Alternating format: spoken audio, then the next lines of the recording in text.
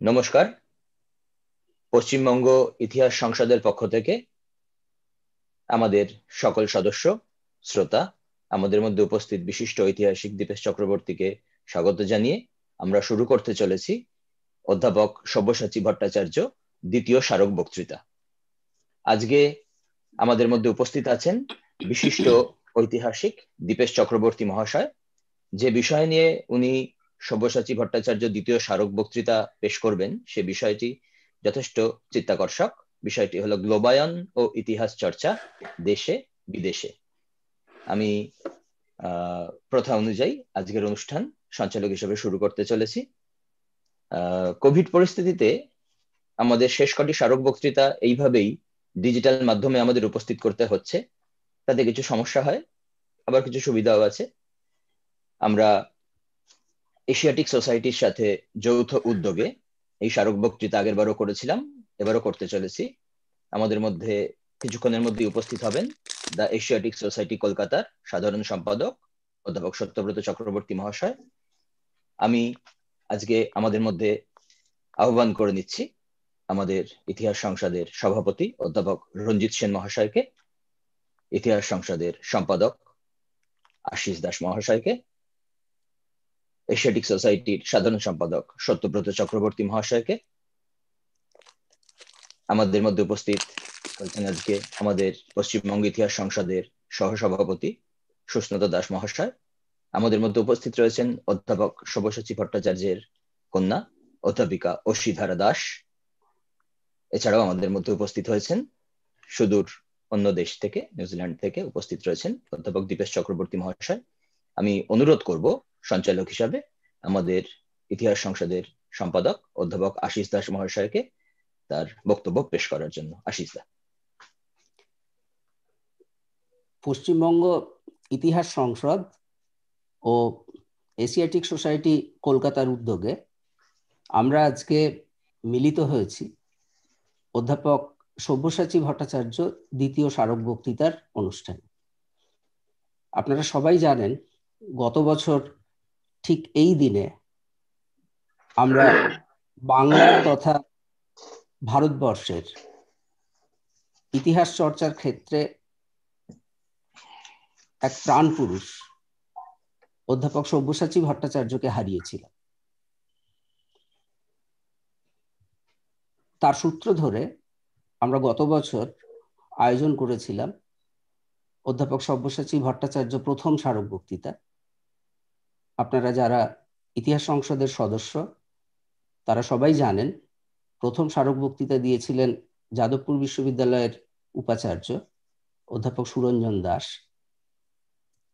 আজকে আমাদের অধ্যাপক সব্যসাচী ভট্টাচার্য দ্বিতীয় স্মারক বক্তৃতা, যিনি আপনাদের সামনে পেশ করবেন, অধ্যাপক দীপেশ চক্রবর্তী। তার সম্বন্ধে ইতিহাস চর্চা করে সমাজ বিজ্ঞান চর্চা করে যে মানুষজন ছাত্র, ছাত্রী, শিক্ষক, গবেষক, তাদের কিন্তু নতুন করে পরিচয় করিয়ে দেওয়ার কিছু নেই। কারণ অধ্যাপক দীপেশ চক্রবর্তী ইতিহাস চর্চা এবং সমাজবিজ্ঞান চর্চার ক্ষেত্রে নিজেই একটি স্তম্ভ হিসেবে প্রতিষ্ঠিত করতে সক্ষম হয়েছেন আমাদের সামনে। আজকে তিনি যে বিষয় নিয়ে বলবেন, সেটা হচ্ছে গ্লোবায়ন, ইতিহাস চর্চা দেশে ও বিদেশে। আমি এই সুযোগে অধ্যাপক দীপেশ চক্রবর্তীকে পশ্চিমবঙ্গ ইতিহাস সংসদের এই অনুষ্ঠানে তার মূল্যবান বক্তব্য রাখার জন্য তিনি যে সহমত পোষণ করেছেন, তার জন্য তাকে ধন্যবাদ জানাই এবং অনুষ্ঠানে স্বাগত জানাই। আমি অনুষ্ঠানে স্বাগত জানাই পশ্চিমবঙ্গ ইতিহাস সংসদের সভাপতি অধ্যাপক রঞ্জিত সেন মহাশয়কে। একই সঙ্গে স্বাগত জানাই এশিয়াটিক সোসাইটির জেনারেল সেক্রেটারি অধ্যাপক সত্যব্রত বাবুকে। স্বাগত জানাচ্ছি অধ্যাপক সব্যসাচী ভট্টাচার্যের কন্যা অসিধারা দাস। তিনিও আমাদের সাথে উপস্থিত আছেন এবং যারা শুনছেন এই অনলাইনের মাধ্যমে, আমার দেশের মানুষ, বিদেশের মানুষ, প্রত্যেককে আমি এই অধ্যাপক সব্যসাচী ভট্টাচার্য দ্বিতীয় স্মারক বক্তৃতায় স্বাগত জানাচ্ছি। সদস্যদের জন্য একটু একটা লাইন, একটা কথা বলছি আমি। সেটা হচ্ছে আপনারা জানেন দু হাজার আঠারো সালে এই কর্মসমিতি গঠিত হয়েছিল এবং দু হাজার একুশ সালে আবার নতুন করে কর্মসমিতি গঠিত হবে এবং দু হাজার একুশ সালের যে বার্ষিক অধিবেশনে যেখানে নতুন করে কর্মসমিতি গঠিত হবে, সেই বার্ষিক অধিবেশন হওয়ার আগে এটাই আনুষ্ঠানিকভাবে, বার্ষিক অধিবেশনকে বাদ দিয়ে বলছি, এটাই আনুষ্ঠানিকভাবে আমাদের শেষ অনুষ্ঠান। আশা করি ইতিহাস সংসদের যারা সদস্য আছেন এই কর্মসমিতি তাদের চাহিদা পূরণ করতে সক্ষম হয়েছে। আশা করি সেটা আপনারাই বিবেচনা করবে এইটুকু বলে আমি আজকের সভাপতি অধ্যাপক রঞ্জিত সেন মহাশয়কে কিছু বলার জন্য, অনুরোধ করার জন্য সঞ্চালকের দৃষ্টি আকর্ষণ করছি। আমি বক্তব্য পেশ করার জন্য ডেকে নেব। ইতিহাস সংসদের সভাপতি অধ্যাপক রঞ্জিত সেন মহাশয়কে। স্যার। নমস্কার।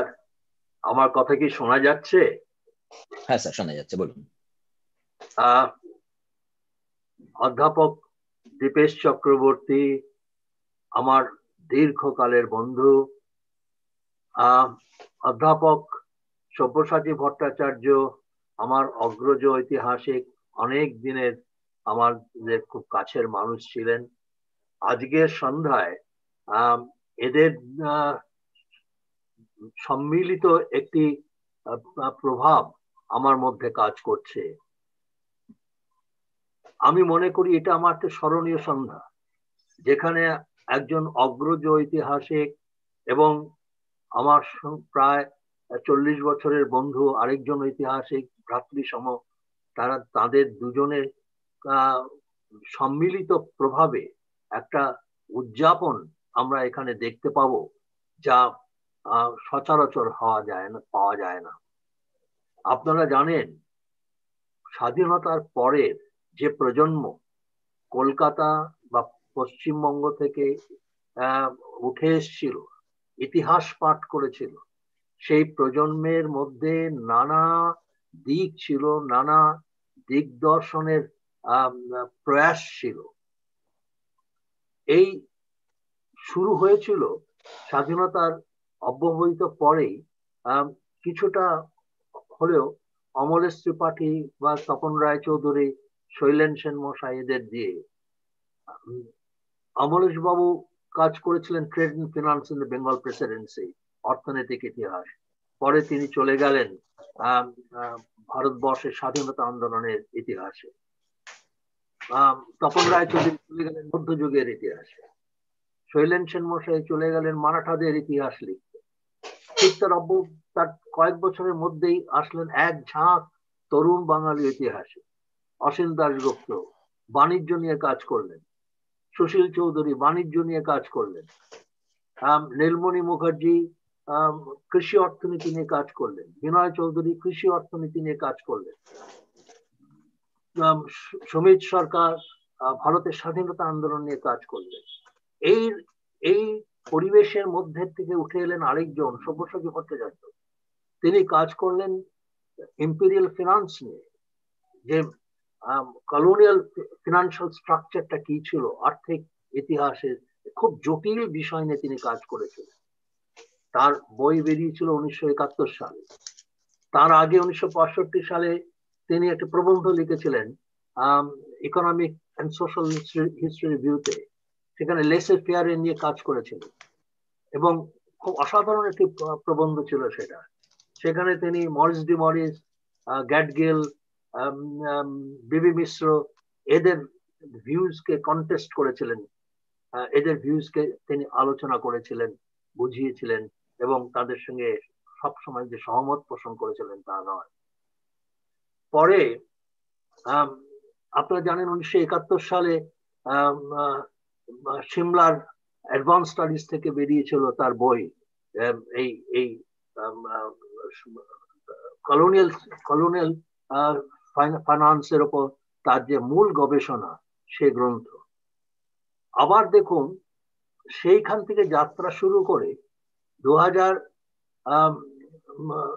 সাল পেরিয়ে আঠেরো সাল পর্যন্ত তিনি একটানা গবেষণা করে গেলেন এশিয়াটিক সোসাইটির কম্প্রিহেন্সিভ হিস্ট্রি অফ বেঙ্গল কে এডিট করলেন তিন ভলিউমে।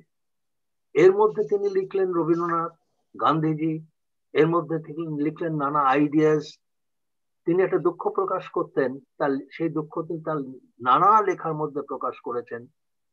ব্যক্তিগতভাবে তার সাথে যখন আলোচনা করতাম, দুঃখটা বারবার বলতেন যে আমরা স্বাধীনতা আন্দোলন নিয়ে কাজ করি, আমরা কলোনিয়াল স্টেটের রাজনীতি নিয়ে কাজ করি, সবই করি, কিন্তু যে আইডিয়াসগুলো এদের পেছনে ছিল, সে আইডিয়াস নিয়ে আমরা কাজ করি না। সে কবে রণজিৎ গুহ তার রুল অফ প্রপার্টি লিখেছিলেন, সেখানে এই আইডিয়াস গুলোকে নিয়ে ভেবেছিলেন, তারপরে এই আইডিয়াসগুলো নিয়ে খুব একটা ভাবা হয়নি। এটা খুব যথার্থ।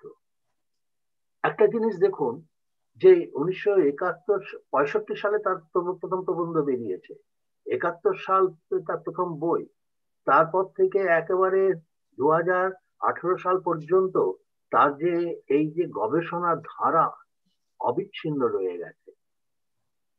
আমি মনে করি যে স্বাধীনতার পর পঞ্চাশের দশক এবং ষাটের দশক, এই দুটি দশকে পশ্চিমবঙ্গ থেকে যে বাঙালি প্রজন্ম, যে বাঙালি মেধা তৈরি হয়েছিল ইতিহাস পাঠের ক্ষেত্রে, ইতিহাস পঠন পাঠনের ক্ষেত্রে, ইতিহাস রচনার ক্ষেত্রে, সেই ধারার শেষ, এই মুহূর্তে আমরা যাকে পাচ্ছি দীপেশ চক্রবর্তী মশাই, সেই পশ্চিমবঙ্গ থেকে উঠে আসা সেই বাঙালি মেধা, বাঙালি মনন, বাঙালি বাঙালির যে সারস্বত সাধনার ধারা, সেই ধারণার অন্তর্ভুক্ত।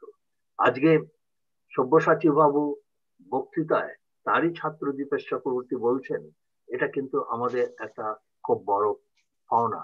আজকে আমরা স্বাধীনতা উত্তর বাঙালি মননের যে যে প্রকাশ, সেই প্রকাশের নতুন ভঙ্গিমা, নতুন দিগন্ত আমরা দেখতে পাবো দীপেশ চক্রবর্তীর মধ্যে। আমার অত্যন্ত ভালো লাগছে, একটু আগেই দীপেশ বাবুকে বলছিলাম যে, কতদিন বাদে দীপেশ বাবুর সঙ্গে আমার মুখোমুখি দেখা একটা সময় ছিল যখন প্রায় প্রতি রোববার আমরা বসতাম মানে নানাবিধ ইতিহাসে আলোচনা করতাম।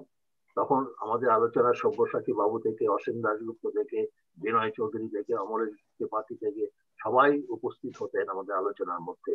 আজকে আমি সেই আমার চল্লিশ বছর আগের স্মৃতিকে খুঁজে পাচ্ছি। সেই জন্য আমি ইতিহাস সংসদকে ধন্যবাদ দিচ্ছি, দীপেশ চক্রবর্তী মশাইকে ধন্যবাদ দিচ্ছি এবং যারা শ্রোতা আছেন সবাইকে ধন্যবাদ দিচ্ছি। সবাইকে স্বাগত জানিয়ে আমি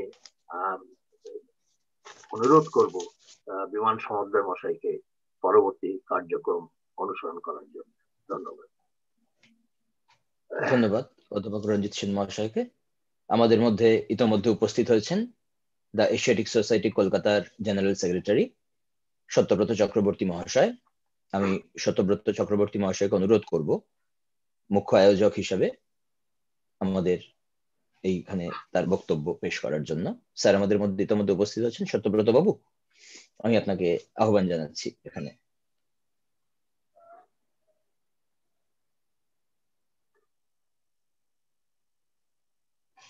স্যার, আপনাকে একটু আনমিউট করতে হবে।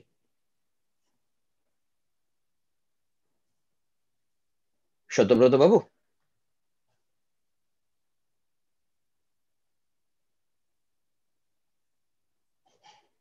স্যার আপনি শুনতে পাচ্ছেন?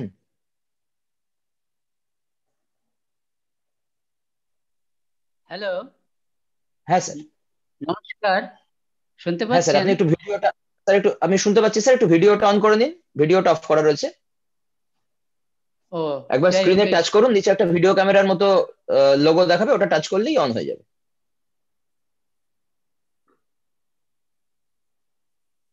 হ্যালো। স্ক্রিন স্ক্রিনটা একবার টাচ করুন স্যার ফোনের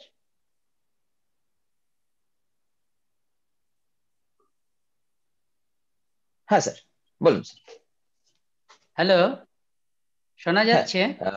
শোনা যাচ্ছে স্যার আপনি বলুন।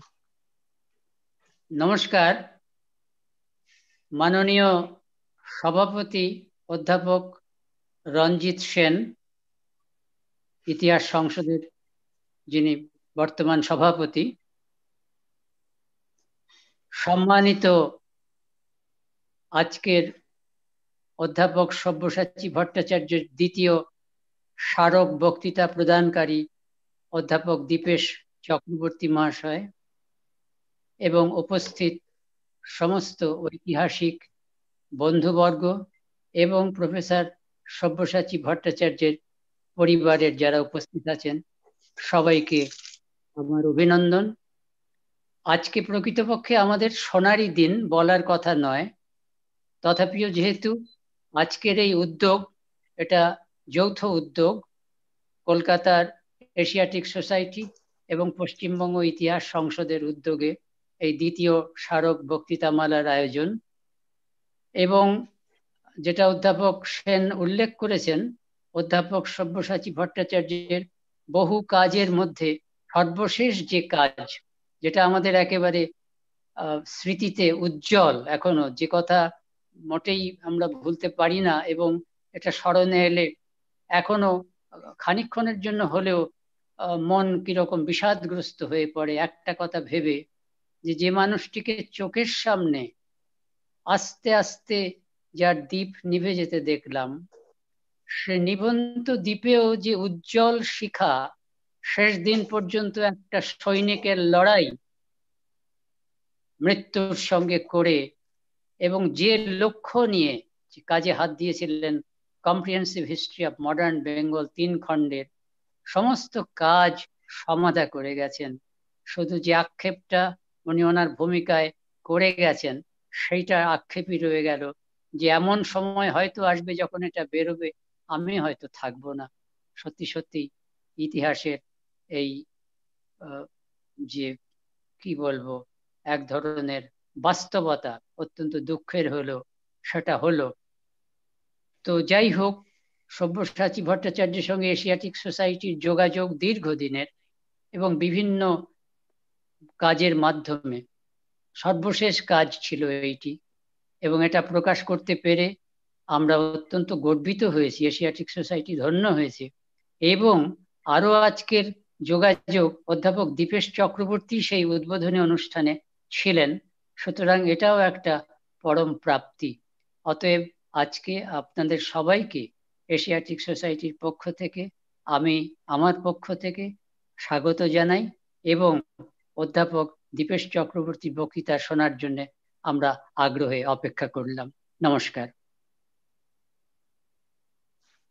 ধন্যবাদ সত্যব্রত বাবু আমাদের আজকের মূল আকর্ষণ যে ভাষণ শোনার জন্য আমরা অধীর আগ্রহে অপেক্ষা করছি বহুদিন ধরে।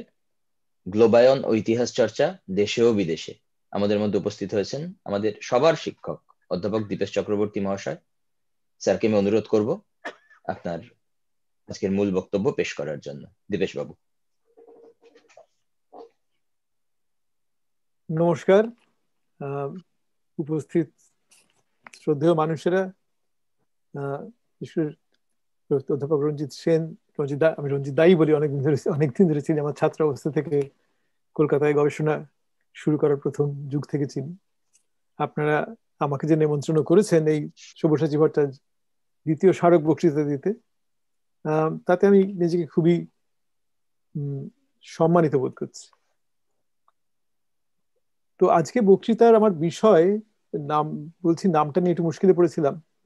কিন্তু যাকে আমরা এই গ্লোবালাইজেশন বলি, তাকে আমি ওখানে বাংলায় গ্লোবায়ন বলে লিখেছি, কেন লিখেছি বোঝাবো। সচরাচর বিশ্বায়ন বলি।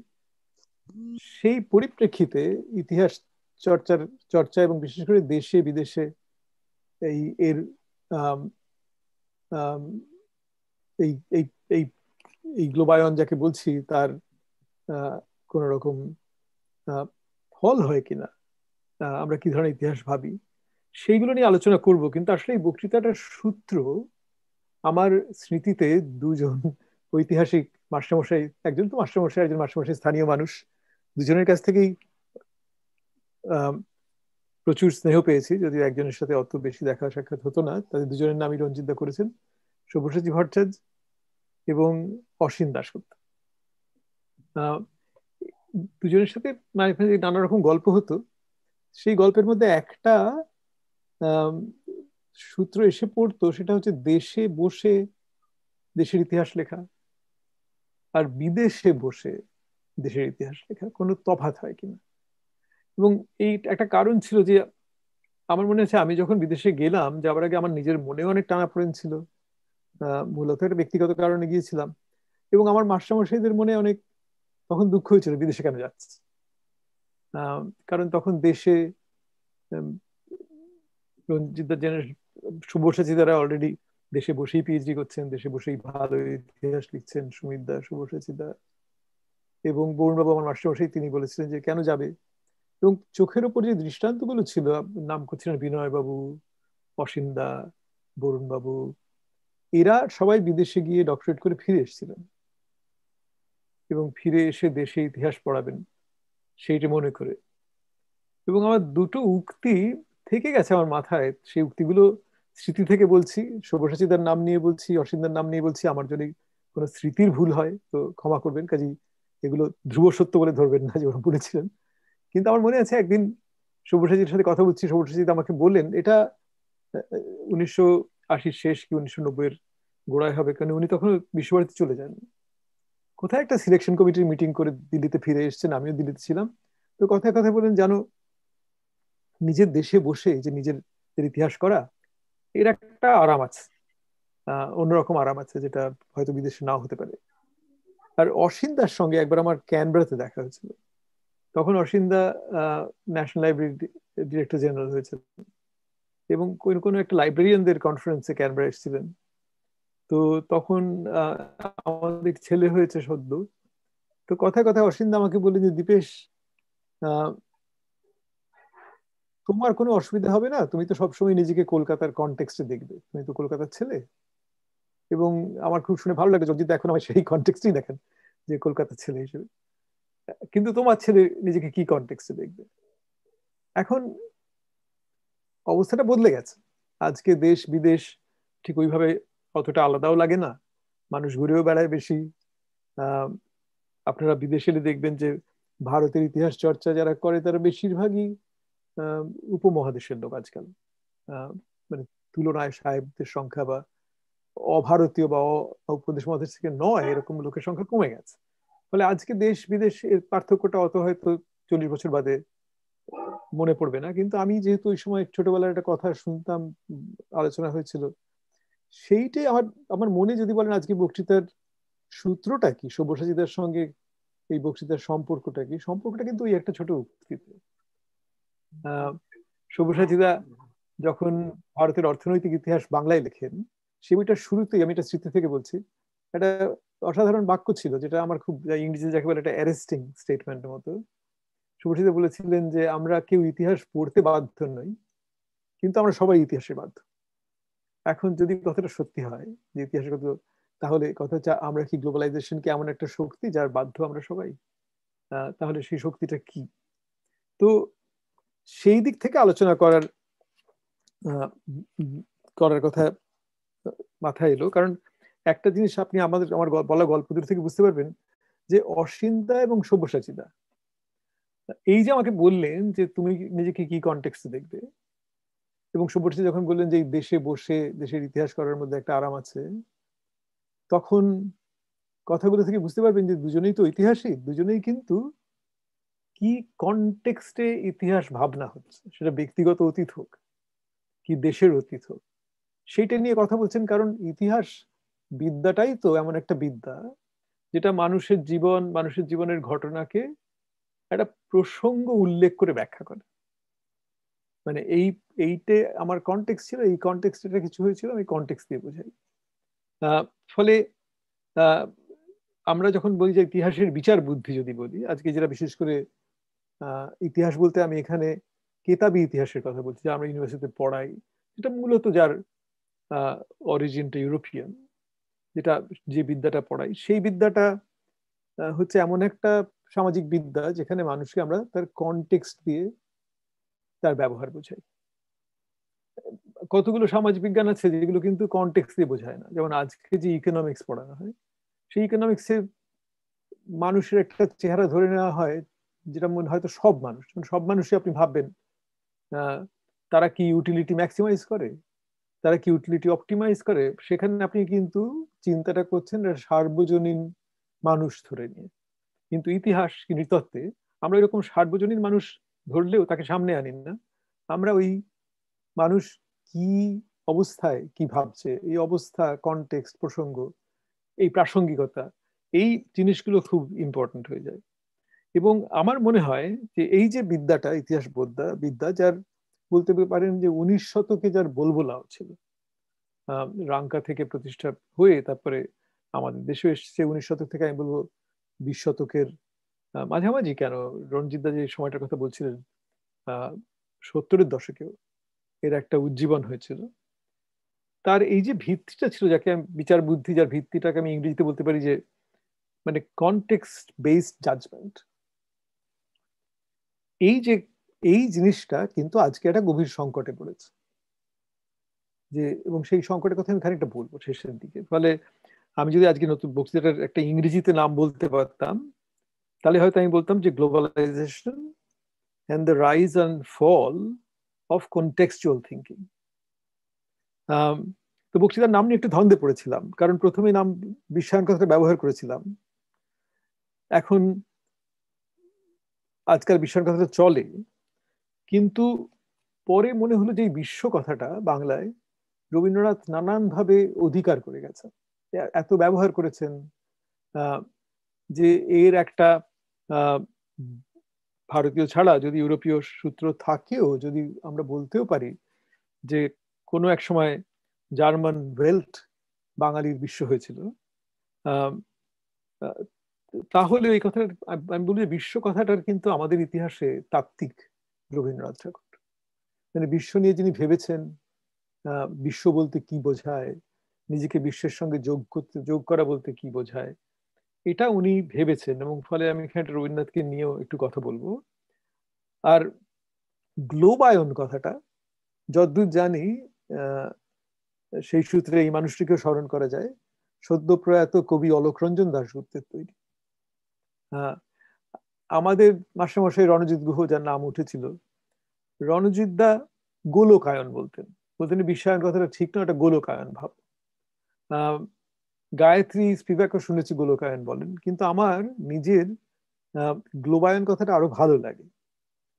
গোলকায়ন চেতে এই জন্য যে এই গ্লোবায়ন কথাটার ভেতরে ইংরেজি গ্লোব কথাটার অন্তর্ভুক্তির ফলে বেশ একটা আয়রনির সৃষ্টি হয়। যেন গ্লোবায়ন এমন একটা জিনিস যাকে সম্পূর্ণভাবে আমরা করায়ত্ত করতে পারি। ধরুন আমরা যখন গ্লোবালাইজেশনকে বিশ্বায়ন বলে অনুবাদ করে ফেলি তখন বলি, দেখো, এটা কোনো ব্যাপার নয়। আমার ভাষার মধ্যে যথেষ্ট ক্ষমতা আছে যে এটাকে আমি আমার ভাষার চিন্তা দিয়ে প্রকাশ করতে পারি। আমি যদি গোলকায়ন করি, আমি তাহলে যেন মনে হয় তাই বলছি। কিন্তু আমি যদি বলি গ্লোবায়ন, তখন কথাটার মধ্যে ইচ্ছে করে একটু ইংরেজি কথার একটা টুকরো রেখে দিয়ে অলোক রঞ্জন যেন বলছেন যে, দেখো বাপু, এই জার্মান ওয়েল্টকে হয়তো আমরা বিশ্ব করে নিয়েছি এবং তাতে অসুবিধা নেই। কিন্তু ইংরেজি গ্লোবকে আমরা কিছুতেই সম্পূর্ণ করে আপন করে নিতে পারি না। ফলে অলোকরঞ্জনের প্রবর্তিত এই কিছুটা অসঙ্গতি দোষ দুষ্ট। মৃদু হাস্যরসের উদ্রেককারী গ্লোবায়ন কথাটায় যেন একটু নিরুপায় ও অসহায় মানুষের বাধ্য হয়ে ঢেঁকি গোলার সুর এবং সেই অভিজ্ঞতা সংজাত প্রতিবাদের সুরও মিলেমিশে আছে। এই কিছুদিন আগেই কলকাতায় চিন্তাহরণ চক্রবর্তী স্মারক বক্তৃতায় ঐতিহাসিক রণবীর চক্রবর্তী আমাদের আপদ ধর্মের কথা বলতেন, যে বিপদে পড়লে যেটা ধর্ম হয়, আপদকালে যে ধর্ম। গ্লোবায়ন কথাটা বলতে পারেন আমাদের আপদ ধর্মের যত যেন এই গ্লোব বস্তুটিকে আমরা গিলতেও পারি না, ফেলতেও পারি এমন করে এটা ঘাড়ে এসে পড়েছে। এখন দুজনের সাহায্য নিয়ে তাহলে আমি বিশ্ব আর গ্লোব একটু ভাবতে চাই। দুজন তাদের রবীন্দ্রনাথকে একটু বেশি করে কোট করব, জার্মান ভদ্রলোকে অত বেশি করে কোট করব না। একদিকে তো রবীন্দ্রনাথ, যাকে দিয়ে আমি বিশ্ব কথাটা ভাববো, এবং এই গ্লোব কথাটা ভাবতে গেলে বিখ্যাত জার্মান জুরিস্ট ও চিন্তাবিদ কার্ল স্মিট তার তিনটে বই আছে, land and sea, nineteen forty two, the nomos of the earth, nineteen fifty, and dialogues on power and space, nineteen fifty eight. এই তিনটে বইয়ের ভিত্তি করে আমি এই বিশ্ব আর গ্লোবের একটা তফাত করব। করে আমি দেখাবো যে ইতিহাসের মধ্যে এগুলো কীভাবে আসে। এবং আমি এটা বলে শেষ করব যে, যেখানে গিয়ে শেষ করব সেটা হচ্ছে যে, ইতিহাস যদি কনটেক্সট বেসড থিঙ্কিং হয়, ইতিহাসের বিচারে, সেটার কীভাবে সংকট সেটা কীভাবে যে সংকটের মুখে পড়ছে। এখন এই বিশ্ব আর গ্লোব বলতে যেটা বোঝাতে চাইছি, চট করে এটা এই জিনিস, এ দুটো কিন্তু পরস্পর যুক্ত জিনিস। বলতে পারেন আজ পাঁচশো বছর আগে ইউরোপের যে বিস্তার হলো যা খুব শিগগিরই সাম্রাজ্যবাদী চেহারা নিল বলতে পারেন ষোলোশো শতাব্দী থেকেই। এই যে সাম্রাজ্যবাদী ইউরোপ ছড়িয়ে পড়ল এবং আলটিমেটলি উনিশ শতাব্দী, বিশ শতাব্দীতে এসে একটা সময় ছিল, বিশ শতকের মাঝামাঝি পর্যন্ত যখন পৃথিবীর আশি ভাগ লোক কোনো না কোনো ইউরোপীয় সাম্রাজ্যবাদী শক্তির কবলে ছিল। তো এই যে ইউরোপ বেরিয়ে পড়ল এই বেরিয়ে পড়ে ইউরোপ শুধু পৃথিবীটাকে আবিষ্কার করেনি। বলতে পারেন ইউরোপ এই বিশ্বটাকে তৈরিও করল। কি দিয়ে তৈরি করল? তার নানান জ্ঞানের ভেতর দিয়ে। এমনিতেই তো ধরুন ইউরোপে যাকে আমরা সাইন্টিফিক রেভলিউশন বলি, সে তো সেভেন্টিন সেঞ্চুরি থেকে হচ্ছিল কিন্তু এই বিজ্ঞানেরও দেখবেন যে সব বিজ্ঞান মূলত ইতিহাস নির্ভর বা ভূগোল নির্ভর। যেমন ভূতত্ত্ব বা বটানি বা জুওলজি বা ধরুন এই যে পৃথিবীতে প্রাণের বিবর্তনের তত্ত্ব এভলিউশনের তত্ত্ব। এখন এগুলো এইগুলো তো পৃথিবীর অন্যান্য দেশগুলোতে ইউরোপিয়ানরা যেতে না পারলে করতে পারতো না। এই গবেষণাগুলোই হতো না। কোন দেশে কোন গাছ হয়, কোন দেশে কোন প্রাণী হয়, সেই প্রাণীগুলো কেন ওখানে হয়েছে, এটা জানতে গেলে তো দেশগুলোতে যেতে হয়। মার্সুপিয়াল কোথায় ছিল কোথায় ছিল না এবং এই দেশগুলোতে যেতে পেরেছিল ইউরোপিয়ানরা সাম্রাজ্যবাদের জন্যই, কারণ দেশগুলোকে পদবনত করতে পেরেছিল। কিন্তু শুধু পদবনত করেনি, এই দেশ সম্বন্ধে কি করে জানতে হয়, কি করে কৌতূহলী হতে হয়, এবং কৌতূহলী হতে গেলে কোন জ্ঞানের শাখার সৃষ্টি করতে হয়, যা দিয়ে কৌতূহলী হতে হবে, এইটাও তৈরি করেছিল ইউরোপিয়ান এবং এইটাকে বলতে পারেন এটা গ্লোবালাইজেশনের ইংরেজি করে বলতে বলতে গেলে যেটা নাকি ওয়ার্ল্ড মেকিং অ্যাসপেক্ট মানে যেখানে ইউরোপিয়ানরা শুধু নিছক গিয়ে আবিষ্কার করছে না মানে কলম্বাসের আমেরিকা আবিষ্কার করার মতো না যে আমেরিকা তো ছিলই আমি গিয়ে আবিষ্কার করলাম তা নয় যে আবিষ্কার করল তাকে ঢেলে সাজানো। এবং ঢেলে সাজানোটা প্রযুক্তি নির্ভর কিন্তু রাষ্ট্র নীতি নির্ভর ইকোনমিক্স নির্ভর। এই যে ফলে ইউরোপিয়ান সাম্রাজ্যবাদ আর ইউরোপিয়ান বিভিন্ন জ্ঞানের শাখার যে উদ্ভাবন এবং প্রসার, এই দুটো কিন্তু পরস্পরের হাত ধরাধরি করেছে করে হয়েছে। এবং এই ইউরোপিয়ানের এই দিকটা এই দিকটা নিয়ে কিন্তু এমনকি যে সমস্ত দেশে ইউরোপিয়ান সাম্রাজ্যবাদ হয়েছে এবং তার মধ্যে যেসব দেশে ইউরোপিয়ানরা শিক্ষা নিয়ে এসছে, আমাদের মতো দেশ, এখানে কিন্তু যেমন, এখানে কিন্তু মানুষের মধ্যে কৌতূহল, উৎসাহ এবং একটা মন খুলে যাওয়ার ব্যাপার হয়েছে। ব্রিটিশ লাইব্রেরিতে গেলে যদি এইচ এইচ উইলসনের কাগজপত্র দেখেন, সংস্কৃতের প্রফেসর ছিলেন, তার আগে এখানে ছিলেন হিন্দু কলেজের ভিজিটার ছিলেন, তাহলে দেখবেন যে হিন্দু কলেজ থেকে পাশ করে গোডাউনে চাকরি করছে, গুদামে, কেরানির কাজ করছে। কিন্তু উইলসন সাহেবকে চিঠি লিখতে বলছে যে, আমার জীবনের সবচাইতে উত্তেজনাপ্রদ বছরগুলো ছিল হিন্দু কলেজের বছরগুলো। কারণ তখন যেন পৃথিবীটা খুলে গিয়েছিল। পৃথিবীটাকে নতুন করে দেখতাম। এবং এই, এতে আমাদের উৎসাহ ছিল বলেই আমরা জগদীশ চন্দ্র বোসকে নিয়ে রাধানাথ শিকদারকে নিয়ে যিনি ট্রিগোনোমেট্রিক সার্ভেতে অংশগ্রহণ করে হিমালয়ের উচ্চতা মাপলেন এই ট্রিগোনোমেট্রিক সার্ভে তো ইউরোপিয়ান জ্ঞানকাণ্ডের একটা ধারা। কিন্তু তাতে উনি খুব ভালো ছিলেন, উনি অঙ্কে খুব ভালো ছিলেন।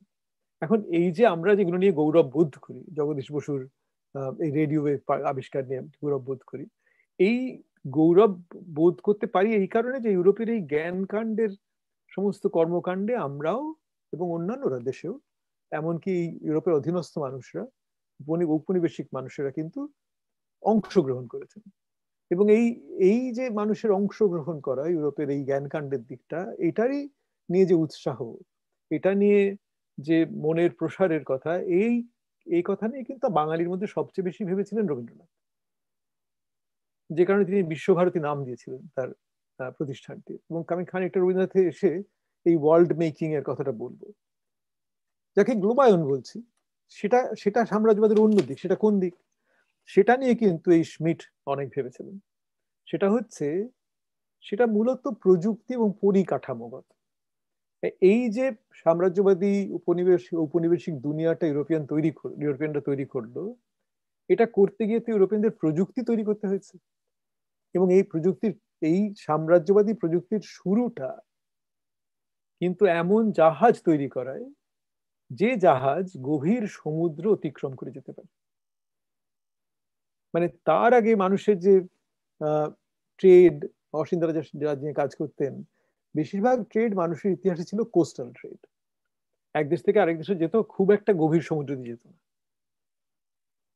ওলন্দাজরা প্রথম সেই জাহাজ তৈরি করল যা গভীর সমুদ্র অতিক্রম করে যেতে পারে।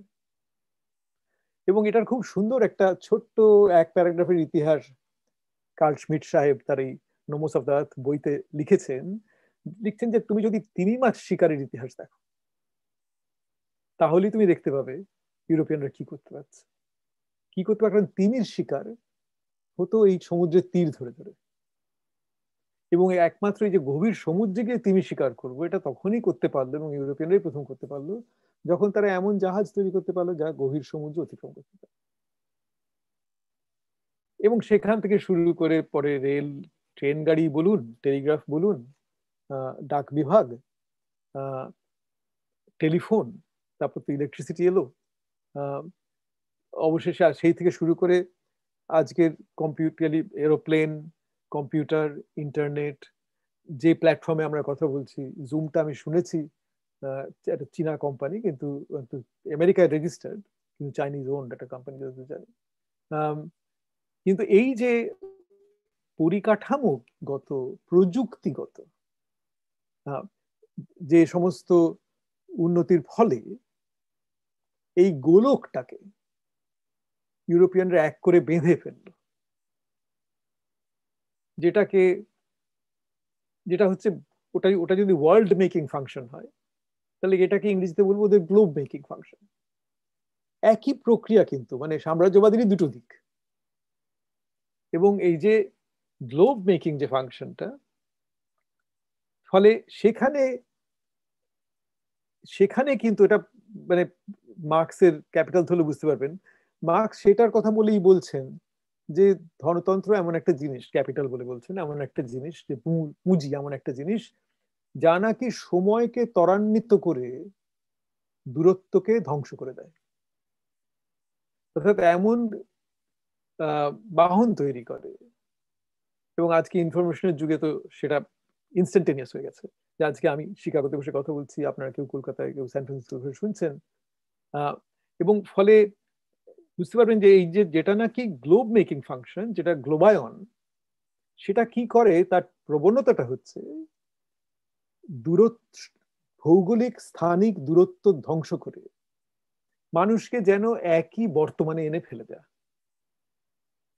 অর্থাৎ আপনার কলকাতার বর্তমান, আমার শিকাগোর বর্তমান, আপনার সন্ধে, আমার সকাল, মিলেমিশে গেল একই সময়ে। এটা কিন্তু বেন অ্যান্ডারসন ছাপা খবরের কাগজ নিয়ে যাব, তার থেকে আলাদা। বেন অ্যান্ডারসন বলছেন, ছাপা উপন্যাস যখন তৈরি হলো, তার থেকে একটা কাল্পনিক সমসাময়িকতা তৈরি হতো। যখন আপনি খবরের কাগজটা নিয়ে বসলেন চা খেতে খেতে কলকাতায়, বম্বের একটা খবর দেখলেন যেন একই বম্বে আর কলকাতা একই সময়ের মধ্যে চলে যাবে কিন্তু সেটা হলো আপনার কল্পনা। আর এটা হচ্ছে আমাদের অভিজ্ঞতা। আপনার বর্তমান, আমার বর্তমান ফিউজ করে গেছে। এই একটা বর্তমান। এটা কিন্তু এই প্রযুক্তি ছাড়া হতো না। তাহলে সাম্রাজ্যবাদের দুটো দিক আছে, একটা যুক্তি আর একটা প্রযুক্তি। এবং এই প্রযুক্তি অনেক মানুষের পৃথিবীতে এই সাম্রাজ্যবাদ নিয়ে যারা ভেবেছেন ইউরোপিয়ানরা অনেকেই ভেবেছেন, যারা বরাবরই এই দুটোকে আলাদা করার চেষ্টা করেছেন। তাদের মনে হচ্ছে এই দুটো আমাদের এক করে ফেলতে চলবে না, যদিও একসাথে হচ্ছে। এখন আলাদা করা যায় কিনা সেটা আলাদা প্রশ্ন, কিন্তু আলাদা করা হয়। কারা হয়? ধরুন নাম যদি করতে হয় জন রাস্কিনের কথা ভাবতে পারে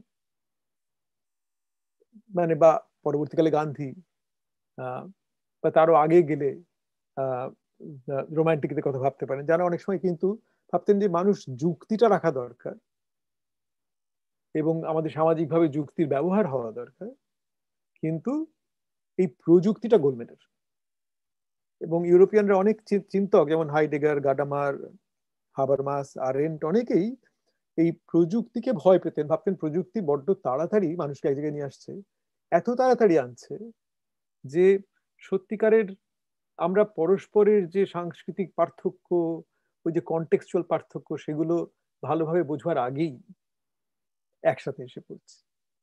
ফলে এমনকি ধরুন মানে এভাবে এই যে হাবার মাস যেমন একটা ডিস্টিংশন করতেন না যে রিজন আর রেশনালাইজেশন যে রিজন জিনিসটা ভালো, যা যে জিনিসটার ভিত্তিতে বৈজ্ঞানিক বিপ্লব হয়েছিল ইউরোপে, সেটা ভালো জিনিস। যে জিনিসের ভিত্তিতে কান্ট ভাবছেন তার সমস্ত দার্শনিক প্রতিপাদ্যগুলো, সেটা ভালো জিনিস, সেটা রিজন সেটা যুক্তি। কিন্তু প্রযুক্তি ব্যাপারটা মানুষের জীবনকে গোলমাল করে দিয়েছে। মার্কস ওয়েবার সেদিক থেকে ভাবতেন সেইভাবে যে যে প্রযুক্তি গোলমাল করছে। এমনকি আমরা আরও হাল ফিলের যে বই, মার্শাল বার্মানের বিখ্যাত মার্কসিস্ট সাহিত্য এবং কলা চিন্তার বই all that is solid melts into a Communist Manifesto একটা সেন্টেন্স নিয়ে যার টাইটেলটা তৈরি করা। সেখানেও দেখবেন মডার্নিটি আর মডার্নাইজেশনের তফাৎ করছে। বলছি মডার্নিটি মানে তোমার চিন্তাধারা তোমার মনোভাব আধুনিকতা। কিন্তু মডার্নাইজেশন হচ্ছে আধুনিকীকরণ, সেটা হচ্ছে একটা ব্রিজ তৈরি করা রেলওয়ে গড়া, একটা বড় রাস্তা করা, এবং এই দুটো আলাদা। ফলে tram brass train, bridge, telephone, internet হচ্ছে মডার্নাইজেশন। এটা এটা হচ্ছে গ্লোবায়নের অংশ। এবং যুক্তিটা হচ্ছে বিশ্বের অংশ। এখন এই যে আমরা আলাদা করি, এই আলাদা করাটা কিন্তু একটু আমরা আর্টিফিশিয়ালি করি। কেন করি? তাতে আসছি।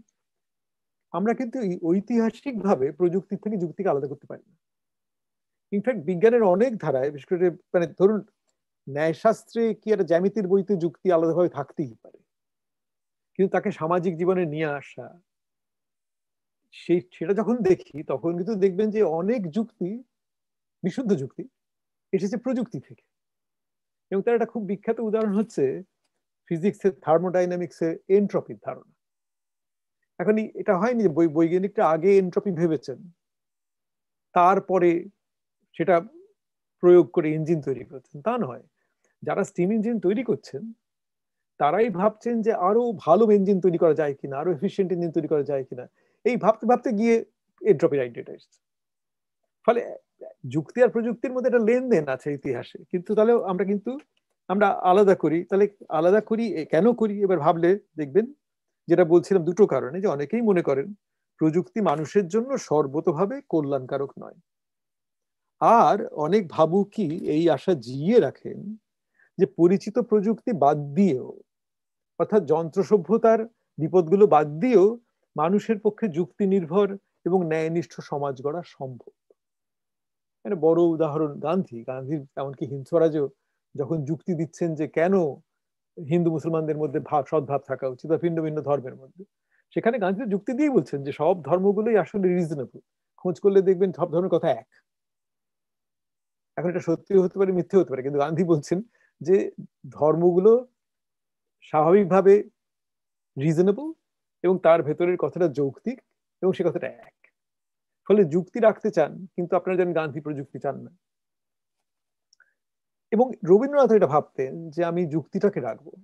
রবীন্দ্রনাথ তো গান্ধীর চেয়ে বেশি যুক্তির পূজারী ছিলেন, যেটা সব্যসাচিতার ওই গান্ধী রবীন্দ্রনাথ বিতর্কের যে বইটা, তাতেও আমরা সবাই জানি যে উনিশশো চুয়াত্তর, চৌত্রিশে বিহারের ভূমিকম্পের পরে যে বা তাছাড়া চড়কা নিয়ে যে সব তর্কাতর্কি হয়েছিল। এখন এইখানে জন্য আমি বলছি, রবীন্দ্রনাথ তাহলে কীভাবে এই বিশ্ব বিশ্বায়ন কথাটা ভেবেছেন? কারণ আমি আমি কিন্তু বলছি বিশ্বায়ন ও গ্লোবায়ন দুটোই একসঙ্গে হচ্ছে। একই প্রক্রিয়া ভেতর দিয়ে, দুটো দিক। আমরা সেটা মনে মনে বিশ্লেষণী ভাবে আলাদা করছি। এক কার্য তো আলাদা সবসময় করা যায় না। এবং আলাদা করছি কেন? না একটা নৈতিক ইন্টারেস্টে যে আমি একটা এমন দেশ গড়তে চাই। এমন সমাজ গড়তে চাই যেখানে যুক্তি থাকবে। কিন্তু প্রযুক্তির অত্যাচার থাকবে না। এখন এটা ইউটোপিয়ান হতে পারে, কিন্তু অনেক সময় নীতিগত চিন্তা তো ইউটোপিয়ান জায়গা থেকে শুরু হয়। এবং সেখানে রবীন্দ্রনাথের নানান বইতে কালান্তরে আছে যাওয়া যাত্রী নানান বইতে ধরুন একটা দুটো কথা পড়ে শোনাচ্ছি। রবীন্দ্রনাথ বলছেন, এই যে এই যে ইউরোপ এর বর্তমান যুগের চিত্তের জ্যোতি এটা কালান্তর মানে তার মানে উনিশশো তিরিশের দশকে লেখা। বর্তমান যুগের চিত্তের জ্যোতি পশ্চিম দিগন্ত থেকে বিচ্ছুরিত হয়ে মানব ইতিহাসের সমস্ত আকাশ জুড়ে উদ্ভাসিত। তার স্বরূপ কি? বলছেন, একটা প্রবল উদ্দামের বেগে ইউরোপের মন ছড়িয়ে পড়েছে সমস্ত পৃথিবীতে। শুধু তাই নয়, সমস্ত জগতে। যেখানেই সে পা বাড়িয়েছে, সেখানটাই সে অধিকার করেছে কিসের জোরে? মানে এখানে মনে মনে অধিকার করার কথা বলছেন। মানে দমন করার কথা বলছেন না। সত্য সন্ধানের সততায় নিজের সহজ ইচ্ছার সঙ্গে সঙ্গত করে সত্যকে সে যাচাই করেনি। প্রতিদিন জয় করেছে সে জ্ঞানের জগৎকে। কেননা তার বুদ্ধির সাধনা বিশুদ্ধ, ব্যক্তিগত মোহ থেকে নির্মুক্ত। অর্থাৎ ইউরোপিয়ানরা কান্ট যাকে ডিসইন্টারেস্টেড নলেজ বলতেন। যে আমি যে সত্যটা খুঁজছি সেটা পাপু আমার স্বার্থের বিরোধী হলেও আমি বলব। এই যে জ্ঞানের শাখার ভেতরে এটা ঢুকিয়ে দেয়, ইতিহাসের মধ্যে যে কথাটা একেবারে গোড়ার কথা। যদুনাথ সরকার বলতেন যে, আমাকে এমন জিনিসও খুঁজতে হবে যে আমি শুনতে চাই না, যে আমার শুনতে ভালো লাগে না। সেই সত্যের মুখোমুখি আমি দাঁড়াবো। মানে আমার একটা বায়াস থাকতেই পারে, কিন্তু বায়াসটাকে নিয়ে যুদ্ধ করতে হবে। এখন এই যে রবীন্দ্রনাথ এখানে গিয়ে বলছেন যে, ইউরোপের চিত্ত আমাদের সামনে এনেছে জ্ঞানের বিশ্বরূপ। দেখুন, জ্ঞানের সাথে কিন্তু বিশ্ব কথা থেকে মিলিয়ে দিলেন। এবং তার সঙ্গে আমাদের বিশ্বরূপ সম্বন্ধে ধারণাই আছে। মানুষের বুদ্ধি এমন সর্বব্যাপী ঔৎসুক্য আমাদের কাছে প্রকাশ করেছে, যা অহৈত, অহেতুক আগ্রহে নিকটতম, দূরতম, অনুতম, বৃহত্তম, প্রয়োজনীয়, অপ্রয়োজনীয় সমস্তকেই সন্ধান, সমস্তকেই অধিকার করতে চায়। এইটা দেখিয়েছে যে জ্ঞানের রাজ্যে কোথাও ফাঁক নেই। সমস্ত তথ্যই পরস্পর অচ্ছেদ্য সূত্রে গ্রথিত। চতুরাননের বা পঞ্চাননের কোনো বিশেষ বাক্য বিশ্বের ক্ষুদ্রতম সাক্ষীর বিরুদ্ধে আপন অপ্রাকৃত অপ্রাকৃত প্রামাণিকতা দাবি করতে পারে না। অর্থাৎ অন্যান্য চিন্তার মধ্যে যে অপ্রাকৃতের দাবি আছে, তাকে কেটে, তাকে নস্বাত করে এই যে জ্ঞানের রাজ্য এরা এনেছে, সেখানে রবীন্দ্রনাথ কথাও বলছেন যে এই জ্ঞান তত্ত্ব কিন্তু রাষ্ট্র সমাজ তত্ত্ব ছাড়া নয়। বলছেন যে এই বিশ্বতত্ত্ব সম্বন্ধে যেমন, তেমন চরিত্র নীতি সম্বন্ধে, নতুন আইনে, এবার ব্রিটিশ শাসন নিয়ে বলছেন, যে আইন হলো নতুন শাসনে, তার মধ্যে একটি বাণী আছে। সে হচ্ছে এই যে ব্যক্তি ভেদে অপরাধের ভেদ ঘটে না। ব্রাহ্মণ শূদ্রকে বধ করুক বা শূদ্রই ব্রাহ্মণকে বধ করুক, হত্যা অপরাধের পঙ্ক্তি একই, তার শাসনও সমান। এবং বলছেন এই জ্ঞানই সাম্যের ধারণা নিয়ে এসছে। সাম্যের ধারণার কথাই বলে রবীন্দ্রনাথ বলছেন, আমাদের চিন্তায় ও ব্যবহারে অনেকখানি বিপ্লব এনেছে, সন্দেহ নেই। সমাজে যাদের অস্পৃশ্য শ্রেণীতে গণ্য করেছে, তাদেরও আজ দেবালয় প্রবেশে বাধা দেওয়া উচিত নয়। এই আলোচনাটা তার প্রমাণ। ইংরেজি সাহিত্যের জ্ঞানের কথা বলছেন যে, ইংরেজি সাহিত্য শুধু রসই আনেনি। আমরা পেয়েছিলাম মানুষের প্রতি মানুষের অন্যায় দূর করার আগ্রহ। শুনতে পেয়েছিলাম রাষ্ট্রনীতিতে মানুষের শৃঙ্খল মোচনের ঘোষণা। বাণিজ্যে মানুষকে পণ্যে পরিণত করার বিরুদ্ধে প্রয়াস স্বীকার করতেই হবে। আমাদের কাছে এই মনোভাবটা নতুন। ফলে এই যে এই যে মানে পরাধীনত পরাধীন মানুষের মন খুলে দেয়া। এই মন খুলে দেয়াটা এটাকে রবীন্দ্রনাথ সার্বজনীন বলে ভাবছেন যে ইউরোপ একটা কোনো সার্বজনীনতার যাকে আমরা ইউনিভার্সাল ইউনিভার্সাল বলি। অর্থাৎ রবীন্দ্রনাথ ইউনিভার্সাল এবং পার্টিকুলারের মধ্যে কি সম্পর্ক হতে পারে? সেইটা নিয়ে ভাবছেন কিন্তু আগে ইউনিভার্সালটাকে তার সার্বজনীন চরিত্রটাকে স্বীকার করে বলছেন। জাভা যাত্রীর পত্রে লিখছেন যে ইউরোপ, ধরুন এটা কত, উনিশশো সালের হবে? ইউরোপ সর্বদেশ, সর্বকালকে যে স্পর্শ করেছে, সে তার কোন সত্যদান বলে উত্তর দিচ্ছেন, তার বিজ্ঞান সেই সত্য। তার বিজ্ঞান যে মানুষের সমস্ত জ্ঞানের ক্ষেত্রকে অধিকার করে কর্মের ক্ষেত্রে জয়ী হয়েছে, সে একটা বিপুল শক্তি। বিজ্ঞান যে বিশুদ্ধ তপস্যার প্রবর্তন করেছে, সে এবারে বলে বলছে, এই সার্বজনীনতা যে বিজ্ঞান এবং এই বিজ্ঞানের মধ্যে ইতিহাসও পড়ে নৃতত্বও পড়ে সে সকল দেশের, সকল কালের, সকল মানুষের, এই জন্যই মানুষকে তাতে দেবতার শক্তি দিয়েছে। সকল রকম দুঃখ, দৈন্য, পীড়াকে মানবলোক থেকে দূর করার জন্য সে অস্ত্র করছে মানুষের অমরাবতী নির্মাণের বিশ্বকর্মা এই বিজ্ঞান। এখন রবীন্দ্রনাথের কথাটা পুরোটা সত্যি কিনা? আজকে দাঁড়িয়ে এই প্যান্ডেমিকের সামনে দাঁড়িয়ে কথাটা দুভাবেই শোনা যায়। আবার এটাও তো ঠিক যে আমরা সবাই ভ্যাকসিনেশনের অপেক্ষা করে আছি। রবীন্দ্রনাথ বিজ্ঞানের যে কল্যাণকার দিকটা বলছেন, এটা তো অস্বীকার করা যায় না। এবং বলে, সে কথাই বলছে যে, এই বিজ্ঞানী কর্মের রূপে যেখানে মানুষের ফল কামনাকে অতিকায় করে তুললে, সেখানে সে হলো জমের বাহন। অর্থাৎ সেইটা আবার গ্লোবায়নের দিক।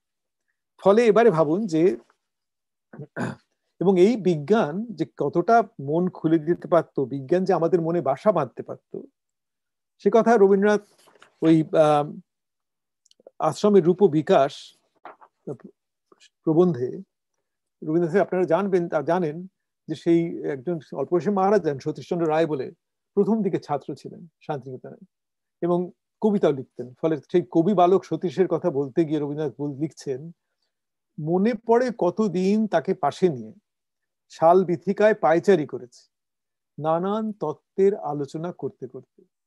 রাত এগারোটা দুপুর হয়েছে। সমস্ত আশ্রম হতো নিস্তব্ধ, নিদ্রামগ্ন। তারই কথা মনে করে লিখেছি সে একটা কবিতার লাইন, রবীন্দ্রনাথের লেখা এই সতীশ সে কথা। তার সেই মুগ্ধ চোখে বিশ্ব দেখা দিয়েছিল নন্দন মন্দার রঙে রাঙা। অর্থাৎ বিশ্ব সেই কবি বালক সতীশচন্দ্র রায়ের চোখে মুগ্ধ চোখে দেখা দিয়েছিল জ্ঞানের হাত ধরে। ওই শাল বিথিকায় যে পায়চারি করছেন, অনেক তত্ত্বের আলোচনা করতে করতে। তখন রবীন্দ্রনাথ সেই বালক কবির চোখের দিকে তাকিয়ে তার মনে হয়েছিল, তার কৌতূহলের দিকে তাকিয়ে যে তার সেই মুগ্ধ চোখে বিশ্ব দেখা দিয়েছিল নন্দন মন্দার রঙের রাঙা। এখন তার মানে দেখুন, রবীন্দ্রনাথ কীভাবে ভাবছেন তার জিনিসটাকে নিয়ে? যে ইউরোপ এসে কতগুলো সাধারণ সূত্র দিয়েছে। সেই সাধারণ সূত্র আমাদের জীবনের একটা সম্প্রসারণ করেছে। কিন্তু সেই সম্প্রসারণ করতে গিয়ে আমাদের আত্মীকরণ করতে হচ্ছে। অর্থাৎ এই যে আমরা বিশেষ, সূত্রটা সাধারণ, সব মানুষই বিশেষ। এখন এই বিশেষের জীবনে সাধারণ কীভাবে আসবে? সাধারণের সঙ্গে বিশেষের আত্মীয়তা কীভাবে হবে? এবং এই আত্মীয়তার জটিলতা, এই আত্মীয়তা কি অটোমেটিক্যালি হয়? না হয় না। রবীন্দ্রনাথ বলছেন, হয় না। এইখানে অনেক জটিলতা আছে। এবং সেখানে প্রায় রবীন্দ্রনাথ মানে প্রায় ঐতিহাসিকের মতোই ভাবছেন ধরুন সাহিত্যের গৌরব প্রবন্ধে উনি লিখছেন, এটা উনিশ এটা উনিশ শতকের শেষের দিকে লেখা। যখন ইউরোপে এসেছে নেশান কথাটা এসে গেছে। রবীন্দ্রনাথ চান যে বাঙালি একটা জাতি হয়ে উঠুক। কিন্তু তখনই ওর মনে হচ্ছে যে বাঙালি জাতি হবার সমস্যা আছে। তখন স্বদেশী আন্দোলন হয়নি। তার আগেই ওর মনে হচ্ছে, ইউরোপে জাতি বলিতে যাহা বুঝায় আমরা বাঙালিরা তাহা নহি। অর্থাৎ আমাদের এক অঙ্গে আঘাত লাগিলে সর্ব অঙ্গে বেদনাবোধ হয় না। আমাদের সকলের মধ্যে বেদনাবহ, বার্তাবহ, আদেশবহ, কোনো সাধারণ স্নায়ুতন্ত্র নাই। সুতরাং আমাদের মধ্যে সাধারণ সুখ দুঃখ বলিয়া কোনো পদার্থ নাই এবং সাধারণ সুখ দুঃখ প্রকাশ করিবার কোনো আবশ্যক নাই। এইখানে দেখুন, সাধারণ তত্ত্বটা ছিল যে সবাই জাতি হচ্ছে আমরা জাতি হব। বিশেষ আমরা কি? আমরা বাঙালি। এখন আমাদের জাতি হওয়ার পথে এটা যে আমরা যে এটা স্বতঃসিদ্ধ নয় যে আমরা ওই সাধারণে পৌঁছবই। ফলে যে সাধারণকে, সাধারণের বিশেষীকরণ করা এবং বিশেষের সাধারণীকরণ করা ইউনিভার্সাল এবং পার্টিকুলারের মধ্যে সম্পর্কের এই যে জটিলতা, এই জটিলতাই তো ইতিহাসে আমরা করতাম। আমাদের করার কথা। যে কন্টেক্সচুয়াল থিঙ্কিং এর তো সেইটাই সবচেয়ে বড় দাবি ছিল। এবং এখানে কথাগুলো এই জন্য বললাম যে রবীন্দ্রনাথ এখানে তাত্ত্বিক, কিন্তু সব্যসাচীদা মৃত্যুর আগে একটা কয়েক বছর আগে একটা অত্যন্ত গুরুত্বপূর্ণ বই লিখে যান the defining moments in Bengal nineteen twenty to nineteen seven এবং তাতে দেখুন, রবীন্দ্রনাথের মতো তারও বিষয় এখানে বাঙালির ঐক্যবদ্ধ জাতি হতে না পারার ব্যর্থতা। ঠিক যেমন রবীন্দ্রনাথ জানতেন যে তার যে প্রার্থনা, যে বাঙালির ঘরে যত ভাই বোন এক হোক এক হোক এক হোক, এটা প্রার্থনা। ইতিহাসে এই প্রার্থনা গ্রান্ট নাও করতে পারে। সেরকম সব্যসাচীদার বইতেও সব্যসাচীদার একদিকে দেখাচ্ছেন উনিশশো কুড়ির পরবর্তী সময় বাংলা সাহিত্য কত গ্রামীণ, মফস্বলের ও নিম্নবর্গীয় কণ্ঠস্বরে সমৃদ্ধ হচ্ছে। কিন্তু বাঙালির এই এবং কলকাতার এই সাংস্কৃতিক জীবনের এই সম্প্রসারণ সত্ত্বেও বাঙালির কোনো রাজনৈতিক বা রাষ্ট্রনৈতিক ঐক্য হচ্ছে না। এবং এখানেও সেই বিশেষ ও তার সাধারণের সঙ্গে পার্থক্যের কথা। সব্যসাচীদা বাঙালির অনৈক্যের কোনো সমাজতান্ত্রিক ব্যাখ্যা দিচ্ছেন না। বরং দৈনন্দিন ইতিহাস ধরে গান্ধীর বেদনাবিদ্ধ উক্তি ধার করে বলছেন হিন্দু আর মুসলমান, উঁচু আর নিচু জাত, এরা অনেকদিন ধরে মনে মনে ভাগ হয়েছিল। ওই গান্ধীর কথাটা ছিল যেটা ডিভাইডেড ইন দ্য হার্টস সেটা দিয়েই সবুঠাজিতা বলছেন যে এতে এটা হয়েছিল। এবং ফলে এই যে জটিলতাটা আবার বইতে এলো এবং এই জটিলতার সন্ধান সুমিতদার স্বদেশী মুভমেন্টের বইতেও পাবেন। যেখানে ধরুন উচ্চবর্ণের ভদ্রলোক শ্রেণির চরিত্র বোঝাতে গিয়ে সুমিতদা কখনো ট্রৎস্কির তত্ত্ব নিয়ে আসছেন। কখনো গ্রামশীর দ্বারস্থ হয়েছেন, কিন্তু কোনোটিকেই চূড়ান্ত বলে মনে করেন অর্থাৎ বিশেষ সাধারণের মধ্যে নিজেকে খুঁজছে ঠিকই, এবং সুমিতদার বই স্বদেশী আন্দোলনকে কোনো এক প্রগতিশীল বিশ্ব ইতিহাসে নিরিখে যাচাই করছে, তাও ঠিক, কিন্তু বিশেষের বৈশিষ্ট্যের প্রতি সৎ থাকার ইতিহাস, ঐতিহাসিক একটা দায়বদ্ধতা আছে। অর্থাৎ এই বিশেষের বৈশিষ্ট্য এমন হতে পারে যে চট করে সাধারণে মিশে যাবে তা নাও হতে পারে, এবং এই এই এই দায়বদ্ধতা থেকে এই বিশেষের, সাধারণের সঙ্গে বিশেষের পার্থক্য নিয়ে ভাবা, তাই নিয়ে সংগ্রাম করা। এটাই ঐতিহাসিকের কর্তব্য। এবং এর চেয়ে সবচেয়ে বড় সবচেয়ে বড় কথা হয়তো বলে গেছেন, গত শতাব্দীর বিখ্যাত মার্ক্সবাদী ইংরেজি ঐতিহাসিক ইপি টমসন। উনিশশো পঁয়ষট্টি সালে আপনারা জানেন তার প্রচণ্ড তর্ক হয়, তখন ইংরেজের মার্ক্সবাদের তদানীন্তন তরুণ তুর্কি, পেরি অ্যান্ডারসন আর টম নেয়ার্নের সঙ্গে। বিষয়টি ছিল যে মার্ক্সবাদী সামাজিক ইতিহাসে সাধারণের সঙ্গে বিশেষের সম্পর্ক কি? টমসন স্পষ্টতই লেখেন যে কোনো ঐতিহাসিক বর্ণনায় সাধারণ যদি বিশেষকে সম্পূর্ণ করে গিলে খায়, তাহলে সেই বর্ণনা অনৈতিহাসিক। ইতিহাসে হয়তো হেগেল, মার্কস বর্ণিত ডায়ালেকটিক আছে, কিন্তু সে মসৃণ নয়। সাধারণের সঙ্গে তার সম্পর্কটা ঘষাঘষির। সাধারণ কখনোই বিশেষকে খিলে গিলে খেতে পারে না। বরং ভিন্ন ভিন্ন বিশেষে যা সাধারণ, তা যেন ভিন্ন ভিন্ন ঘর খুঁজে পায়। আর সেই ঘর মোটেই শান্তির নয়। টমসনের ভাষায় সেখানে সাধারণ আর বিশেষের মধ্যে ঘষাঘষি ঝগড়াঝাটি লেগেই থাকে। এবং আমি দুটো বাক্য কোট করে শোনাচ্ছি। টমসন এক জায়গায় লিখছেন ওই প্রবন্ধেই।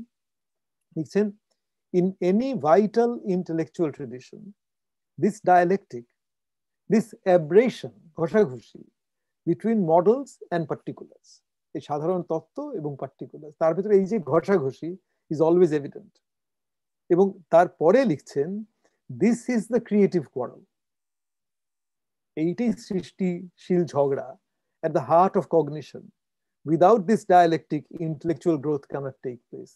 In other words, Rabindranath একদিকে বলছেন যে বিশ্ব এসে তার বিশ্ব মানে ভারতী বিশ্বের ভারতী এসে তার বিশ্ব ভারতীতে একটা নিডের মধ্যে নিজের গৃহ খুঁজে পাবে।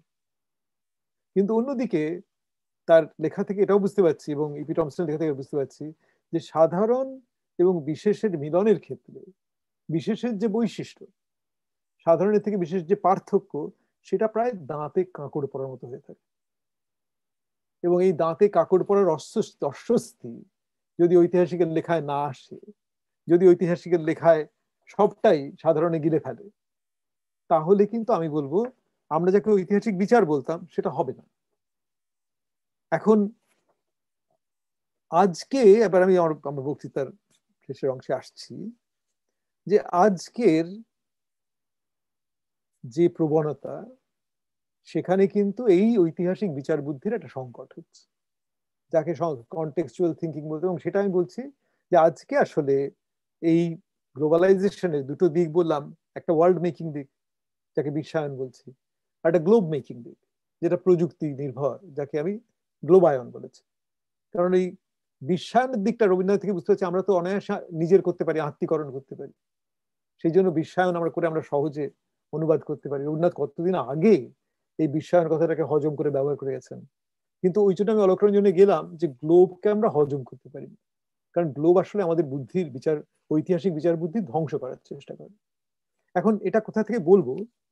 এটার প্রসেসটা শুরু হয়েছে অনেকদিন আগে। একটা সাধারণ মানে জীবন থেকে একটা উদাহরণ তুলতে গেলে অনেকদিন আগে, অনেকদিন মানে আগে মানে ঠিক কতদিন আগে? হয়তো পনেরো বছর আগে কি আরও একটু আগে একটা ছবি এসেছিল হিন্দিতে। কভি খুশি, কভি গম বলে। শাহরুখ খানের অভিনয় করে। তাতে দেখলে দেখবেন যে ঘটনাটা ঘটছে দিল্লিতে, কিন্তু ছবি যেটা দেখবেন তা দিল্লির মতো নয়। মানে আপনি ছবিতে দেখে ওই দিল্লি চিনতে পারবেন না। কারণ কানে কিছু হয়তো ক্রাইস্ট চার্চের শট কিছু হয়তো ভিয়েনায় ছবি তোলা, সব ছবি পাঞ্চ করে একটা দিল্লি তৈরি হয়েছে।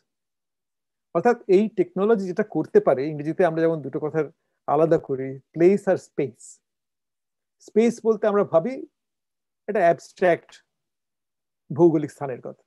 কীরকম কোনো অ্যাবস্ট্রাক্ট স্থান? ধরুন আপনি যখন প্ল্যান করলেন চারতলা বাড়ি করব। আপনি তো জমির কথা না ভেবেই কতগুলো স্ট্রেট লাইন এঁকে দেন?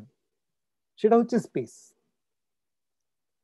বা আপনি ধরুন দুই পড়শির মধ্যে একটা সোজা দাগ টেনে বললেন, এটা তোমার জমি, এটা আমার জমি। স্পেসে যখন মানুষ থাকে, ব্যবহার করে, তখন আমরা দেখি সেটা প্লেস অর্থাৎ লিভড স্পেস সেটা কিন্তু বদলে যায়। আপনি ওই জমির টান দিয়েও দেখবেন যে কোন দিন আপনার মনে হবে পড়শি আপনার জমি খেয়ে গেছে, বা আপনি ওর মনে হবে আপনার জমি, ওর জমি আপনি খেয়ে নিয়েছেন। তখন একটা ঝড়ঝাটি হয়ে কোর্টে না গিয়ে হয়তো একটা আঁকা বাঁকা লাইন হয়ে যায়। আমেরিকা কি অস্ট্রেলিয়ার যদি এই প্রাদেশিক বাউন্ডারি গুলো দেখেন, যেগুলো অনেক সময় মানুষ যাবার আগেই তৈরি হয়ে গিয়েছিল, সেগুলো শিখবেন সব স্ট্রেট লাইন ভারতবর্ষের মতো নয়। কেন স্ট্রেট লাইন কারণ ওখানে আদিবাসীরা কোথায় থাকে ভাবনা চিন্তা না করেই লাইন টেনে বলতেছিল এইটাই আমার এটা তোমার। এইটা অ্যাবস্ট্রাক্ট স্পেস যখন থাকে তার মধ্যে মানুষ, সেটা হয় প্লেস এবং এই যে স্পেস আর প্লেসের ডিস্টিংশন এইটে প্রযুক্তিগতভাবে অনেক দিন ধরে নষ্ট হয়ে যাচ্ছে। এখন এটা যে সম্পূর্ণ নষ্ট হয়ে গেছে যেখানে, সেটা হচ্ছে আজকে যাকে আমরা সোশ্যাল মিডিয়া বলি ইন্টারনেট মানে সেটা শুধু ফেক নিউজের সমস্যা নয়, এগুলো কি করে? ধরুন মানে এই যে আরেকটাও বলিনি যে মিডিয়া যত অডিও ভিজুয়াল মিডিয়া বেড়েছে, এবং আজকে তো সেগুলো ইন্টারনেট হোয়াটসঅ্যাপ টুইটার ইত্যাদি ধরে অনেক আরও বেড়ে গেছে, তখনই হয়েছে কি, এই যে বলছিলাম যে আপনার বর্তমান, আমার বর্তমান, আপনার কলকাতার সন্ধ্যেবেলা আমার শিকাগো সকালবেলা ফিউজ করে গেল। এর ফলে আপনার মনে হবে যে আপনি একটু শিকাগো সকাল দেখছেন, আমার মনে হবে আমি একটু কলকাতার সন্ধ্যে দেখছি। এর ফলে মানুষের ভার্চুয়াল উইটনেসিং অনেক বেড়ে গেছে। দিল্লিতে যখন নির্ভয়া রেপ কাণ্ড হলো, তখন আমার মনে হলো আমরা সবাই সাক্ষী। কালকে আমেরিকায় যে কাণ্ডটা হলো, এবং সোশ্যাল মিডিয়া ছাড়া তো হতো না ট্রাম্পের টুইটার বারো ঘণ্টার জন্য বন্ধ করে দেওয়া হয়েছে। এখন সেটা তো আপনারা ওখানে বসে টেলিভিশনে দেখছেন, আমরাও এখানে দেখছি।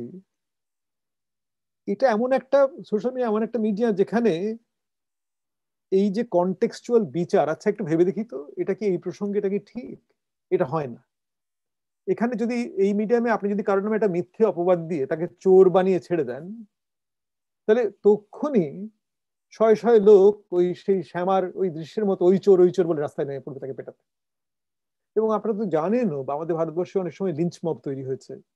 এই হোয়াটসঅ্যাপ দিয়ে মবিলাইজ করে। মিথ্যে কথা বলে মবিলাইজ করে। ফলে আমি বলব এই সোশ্যাল মিডিয়া যেটা গ্লোবায়নের একটা চূড়ান্ত ধাপ এবং যেটা অ্যাকচুয়ালি হয়েছে গত তিরিশ, চল্লিশ বছর ধরে তৈরি হয়েছে, এটা কিন্তু এই এই যে যেটা মানে বিশ্বায়নে যেটা আমরা যেটা নিয়ে কথা বলছিলাম, যেখানে অ্যাকচুয়ালি একটা স্ট্রাগল ওভার ডিফারেন্স হয় ইতিহাস চর্চায়, সেই স্ট্রাগলটা নিয়ে। এখন আমি এই সোশ্যাল মিডিয়া নিয়ে তো কথা বলতে আসিনি, আমি ইতিহাস নিয়ে কথা বলতে এসেছি। এবং গ্লোবায়নের ইতিহাস চর্চার উপরে তাহলে ইম্প্যাক্টটা কি? সেইটা আমি দু একটা উদাহরণ দিয়ে দেখাই, যে কীভাবে ইতিহাসের বিচার বুদ্ধি মার খাচ্ছে। এই এই গ্লোবায়নের ফলে এক ধরনের গ্লোবাল হিস্ট্রি হয়েছে। তাতে কিন্তু এই প্লেস আর প্লেসের ডিস্টিংশনটা চলে গেছে। এখানে ইপি টনসন যেভাবে অভিজ্ঞতার কথা বলতেন, যে আচ্ছা মানুষ, যে মানুষটা ইংরেজ চাষি, যে নাকি এমপ্লয়ের পক্ষে ফলে বেরিয়ে চলে এলো, একদিন কারখানা দরজায় এসে পৌঁছলো, একদিন সে শিল্প সংস্থার শ্রমিক হলো, তার শ্রমিক হওয়ার অভিজ্ঞতাটা এই যে পিটনসন বলেছিলেন, নাম দিয়েছিলেন the making of the English working class কেন? বিখ্যাত সেই সেন্টেন্স ছিল the working class was present its own making তার মানে এই ওয়ার্কিং ক্লাস যে তার অভিজ্ঞতা দিয়ে যেভাবে সে শিল্পায়নকে অভিজ্ঞতা করছে, সেই অভিজ্ঞতার নিরিখে সে যেভাবে ব্যবহার করছে, সেইটাও তাকে তৈরি করছে। ফলে তার ওই প্রাসঙ্গিক ভাবে তাকে দেখতেই হবে, তাকে ওই প্রসঙ্গে ফেলে, ওই কনটেক্সটে ফেলে বুঝতে হবে। যার ফলে এই যে টমসন বলছেন যে একটা অ্যাব্রেসিভ ডায়ালেকটিক হয়। আমার ইংরেজ দেশের ওয়ার্কিং ক্লাস ঠিক কোনো আদর্শায়িত ওয়ার্কিং ক্লাসের মতো হবে না। ওইখানে ডায়ালেক্টে একটা ঘষাঘষি থাকবে। সেইটাই উনি পেরি অ্যান্ডারসন যখন দুঃখ করে বলতেন যে ফরাসি দেশে এমন বুর্জা হলো, আমাদের কেন হলো না? ওদের বুর্জা বিপ্লব হলো? গ্রামসি যখন দুঃখ করে বলতেন যে ফরাসি দেশে বিপ্লব হলো, কিন্তু আমাদের এখানে প্যাসিভ রেভলিউশন হলো? ইউটি টমসন একজন ঐতিহাসিক, তার বিরুদ্ধে বলছেন, না, এই যে হওয়া না হওয়াটাই তো আমার হয়ে ওঠা। আমি কেন ওরকম আদর্শ তত্ত্বের কথার মতো হয়ে উঠবো? কারণ আমার তো একটা ইতিহাস আছে। এবং সেই ইতিহাসের যে ডায়ালেকটিক তার তো ক্রিয়েটিভ কোয়ারেল উইথ থিওরি আমার ক্রিয়েটিভ কোয়ারেল উইথ থিওরি আমার এই অ্যাব্রেসিভ ডায়ালেকটিক্সের যে অ্যাব্রেসিভ নেচার এইটার প্রতি আমার চোখ রাখতে হবে। এখন একটা উদাহরণ দিই, কীভাবে এই গ্লোবায়িত ইতিহাস চর্চায় এটা ধ্বংস হয়ে যাচ্ছে। এবং আমি দুজন মানুষের সমালোচনা করব। ছাপা লেখা থেকেই করব, কিন্তু নাম করব না। এই কারণে নাম করব না, প্রয়োজন হলে রেফারেন্স দিতে পারি। নাম করব না, এই জন্য মানুষগুলোর সঙ্গে তর্ক করছি না, মানুষগুলোর সমালোচনা করছি না। তাদের কতগুলো লিখিত কথার সমালোচনা করছি টেক্সটের সমালোচনা করছি। তো এটা উদাহরণ দিয়ে বলি যে সুমিতদার বই, স্বদেশী মুভমেন্ট দু হাজার নয় সালে পুনর্মুদ্রিত হয় এবং সেখানে আহত হয়ে নীলাদ্রি ভট্টাচার্য এবং আমি সুমিতদার বই সম্বন্ধে নাতি দুর্ঘ দুটি প্রবন্ধ লিখি নীলাদ্রি লিখেছিলেন যে, সরকার's book made the Swadeshi movement come alive for me. I have returned to Sarkar's book to re-experience the lived quality of his history of Swadeshi. অর্থাৎ স্বদেশীর সময় যারা বেঁচেছিলেন তাদের আমরা যতই সমালোচনা করি, শ্রেণীগত, জাতিগত, বর্ণগত, ধর্মগত, যাই সমালোচনা করি, যারা ওই সময় বেঁচেছিলেন তাদের কাছে ওই সময়টা কেমন লেগেছিল? এই জিনিসটা সুমিতদার বইতে ধরা আছে। এবং ধরা আছে ভাষার মাধ্যমে। ধরা আছে রবীন্দ্রনাথের আলোচনায়। ধরা আছে মুকুন্দ দাসের গান। এবং সুমিতার বইতে ছিল সুমিতা তো বাংলাগুলোও তুলে দিয়েছিলেন বইতে ইংরেজি অ্যালফাবেটে এবং আমি লিখেছিলাম যে সরকার সুমিতা যদি উনিশশো নব্বই দশকে কাজ করতেন, এই কাজটা এই গ্লোবায়নের দশকগুলোতে, তাহলে আমি লিখেছিলাম he would have probably followed up more on the connection between provinces and India and India instead of being abstract would have found scale down representation in his pages but that would not have been a deep history of Bengali sentiments The specificity, or again, ওই ঘষাঘষির ব্যাপারটা particular general, of the experience of those who participated or opposed or remained neutral to the Swadeshi movement would have been lost in such an account. ওই রকমই গ্লোবায়িত বর্ণনা the global would have swamped the local by asking of the local how it was produced rather than how it was lived. আপনারা যদি মার্ক্সবাদী ঐতিহাস ভূগোল ভূগোল বিশারদ David Harvey পড়েন কি মার্ক্সবাদী পলিটিক্যাল চিন্তক মাইকেল হার্ট আর টনি নেগ্রির এম্পায়ার বইটি পড়েন। তাতে দেখবেন এরা সবসময় ভাবছেন যে যে ওই লোকালটা গ্লোবাল প্রডিউস করে। করে, অস্বীকার করছে না। কিন্তু লোকালটা গ্লোবাল প্রডিউস করে বলে যে ওই লোকালের মধ্যে আছে, সে তো আর ওই ওই প্রোডাকশন প্রসেসটাকে নেসেসারি অভিজ্ঞতা করে না। এবং এদের মতে আপনার অভিজ্ঞতাটার দাম কম, ওই প্রোডাকশন প্রসেসের দাম বেশি। সে অর্থে আমি বলেছিলাম it would have the global would have sump the local by asking of the local how it was produced rather how it was lived এক ভদ্রলোক, তিনি ভারতীয়ই তিনি গ্লোবায়িত তিনি আমার সমালোচনা করে লিখছেন যে এই বড় আর্গুমেন্টগুলি দরকার গ্লোবে কি হচ্ছিল? লার্জার আর্গুমেন্টস আর ওয়াট আর নিডেড এবং বলে আমার সমালোচনা করেছেন not myopic ones That would return us to the self absorbed parochialism of the bhadralok vision. So when Chakraborty complains that in the current academic mood, Bengal would be seen as something produced simply as a nodal point in a large network of some global and national connections, unquote, that would arguably not, not be too bad a thing. বলে উনি ঠাট্টা করে লিখছেন for what do they know of Bengal who only Bengal know এবারে ভাবুন, আমার কথা বাদ দিন, আমি তো মুখোশুকু মানুষ। এমনকি দীনেশ সেন, নিহার বাবু, এদের কথাও বাদ দিন, অতুল সূত্রও বাদ দিন।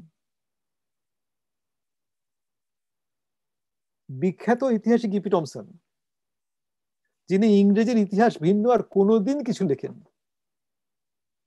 তাকেও কি বলা যাবে? What does in know of England who only England knows এই একেবারে গত আঠেরোই ডিসেম্বর আরেকজন গ্লোবায়িত ঐতিহাসিক। তিনিও ভারতীয় বংশ উদ্ভব ভারতীয় বংশধর উদ্ভব, কিন্তু ভারতবর্ষে নয়। তিনি দেখলাম একটি ম্যাগাজিনে, E P টমসনের the making of the English working class বইটিকে বলছেন প্যারোকিয়াল তার একটা প্রভিন্সিয়াল ফাস্টনেস আছে এবং তার একটা লিটল ইংল্যান্ডার মেন্টালিটি আছে, যার থেকে ব্রেক্সিট হয়েছে। এখন প্রশ্ন হয় যে এইরকম একটা সংকীর্ণ মনা তথাকথিত সংকীর্ণ মনা প্রাদেশিক বই, একটা পৃথিবী বিখ্যাত বই হলো কি করে? মানে একটা যদি একটা অত প্যারোকিয়াল প্রভিন্সিয়াল বই হয়, সে অত কসমোপলিটন হলো কি করে? ওই বইয়ের মতো তো পৃথিবীতে অন্য কেউ বই মানুষ পড়তো না আধুনিক ইতিহাস। কত জায়গায় লেবার হিস্ট্রি তৈরি হয়েছে, যার টাইটেলে দ্য মেকিং কথাটা আছে। আসলে এটা যারা একদম দেখছেন না যে ইপি টমসন যে ইতিহাস লিখছেন, তার একটা তাত্ত্বিক জাস্টিফিকেশন আছে সেটা ওই অ্যাব্রেসিভ ডায়ালেক্টিক এবং ওই যে বললাম, দাঁতের কাঁকুর, তার প্রতি কমিটমেন্ট এমনকি যে লোক আমাকে সমালোচনা করছেন, তিনি একথাও লিখছেন যে হোম মেটাফর হোম বলছেন হোম কি, গৃহ কি হোয়াট সাবঅর্ডিনেটস ট্রাভেল ফ্রিজ যে ভ্রমণেই মুক্তি আর গৃহ মানেই বন্দি দশা। আমার মনে হয় এরা কোনোদিন হোমলেস মানুষ দেখেননি, অথচ যে দেশে থাকেন সেখানে দরিদ্রের কোনো অভাব নেই। ফলে বোঝা যায় যে টমসন যখন লিখছেন, তখন সেই বিশ্বায়িত সময়ের ভিতরে লিখছেন। যখন সাধারণ ও বিশেষে টানা পড়ে নে, ঘরের কথা উঠত। কারণ এই ঘরটা মানে এই ঘরটা সবসময় একটা ওই টানাপোড়েনের মধ্যে, এই ঘর কিন্তু শান্তির ঘর নয়। মানে এই টমসন যে কথা, ওই জন্য বলছেন ক্রিয়েটিভ কোয়ারেল মানে এই ঘরে সাধারণ সাথে ঝগড়া চলছে, অথচ সাধারণকে ছেড়ে যাওয়ার উপায় নেই। ফলে ধরুন, যেভাবে দীনেশ সেন তার আত্মজীবনীর নাম লিখেছিলেন, যুগ সাহিত্য ঘরের কথা। যুগ সাহিত্য কথাটার ভেতরে একটা ইতিহাস চেতনা আছে, যে কোন যুগে আমি জন্মেছি। সাধারণ। কিন্তু তার সঙ্গে আমার কথাটা আমার ঘরের কথা। এখন ঘর আর যুগ কি সবসময় মেলে?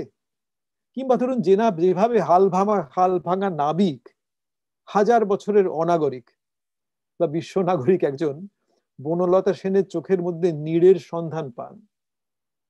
হয়তোবা দুদণ্ড শান্তির। তিনি কিন্তু কথা বলছেন না যে ওই নীড়ে আমার চিরকালের শান্তি আছে। শান্তিটা দুদণ্ডের। শান্তিটা চিরকালের নয়। কিন্তু তার প্রয়োজন আছে।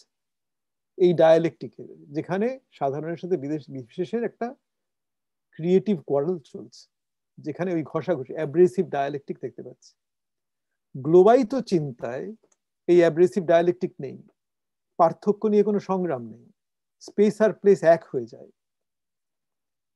রবীন্দ্রনাথ যাকে নির বলছেন, সাধারণ বিশেষে টানাপোড়েনের মানুষের যে নটবড়ি গৃহ খোঁজে তা থাকে না। কেন থাকে না জানেন? এটা রবীন্দ্রনাথের ভালো জবাব আছে। সেই জবাবটা দিয়ে আমি শেষ করব। এই জবাবটা রবীন্দ্রনাথ দিচ্ছেন জাপানে গিয়ে।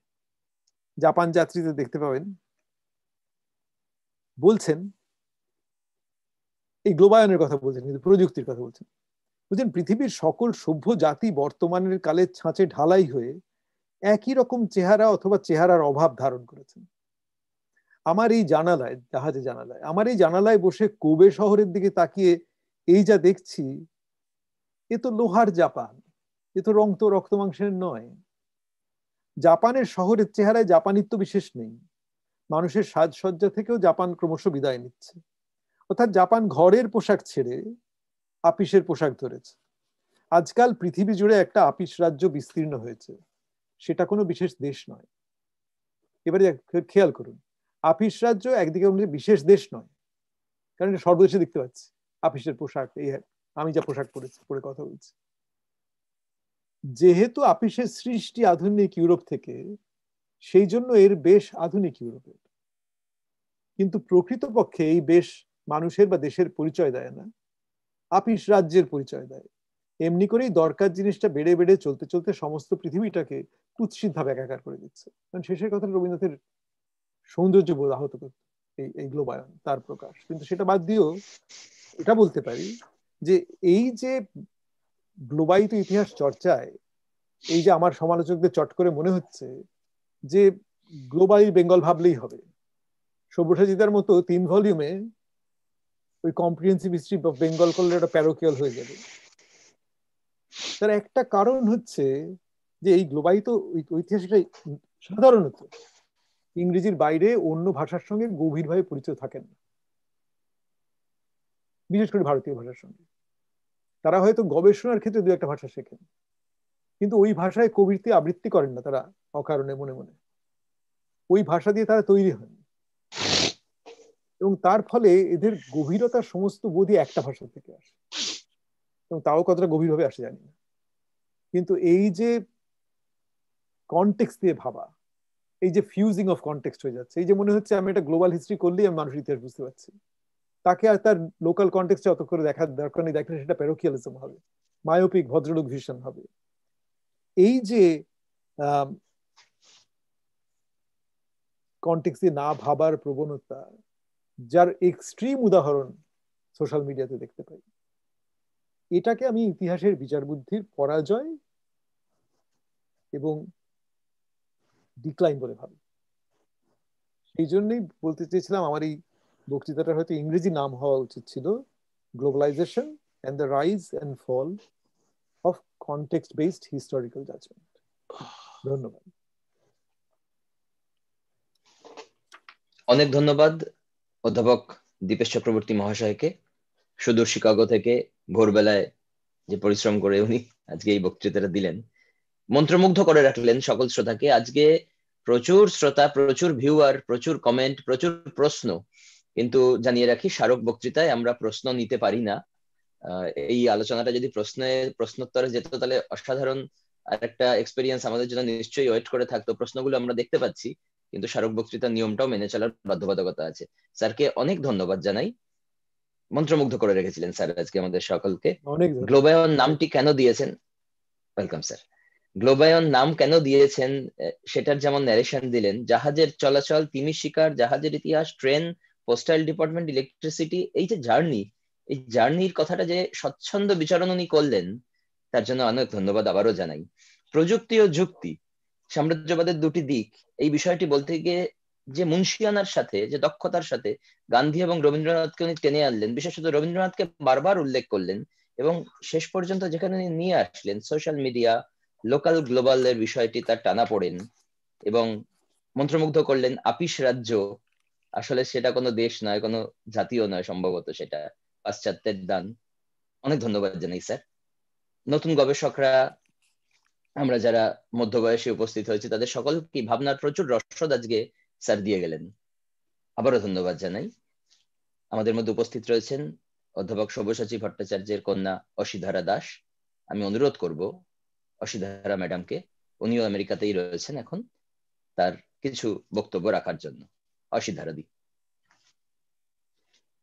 নমস্কার প্রথমেই বলি আমার মা শ্রীমতী মালবিকা ভট্টাচার্য আর আমি, আমরা অত্যন্ত অত্যন্ত কৃতজ্ঞ যে পশ্চিমবঙ্গ ইতিহাস সংসদ এবং এশিয়াটিক সোসাইটি এই বক্তৃতার আয়োজন করেছে।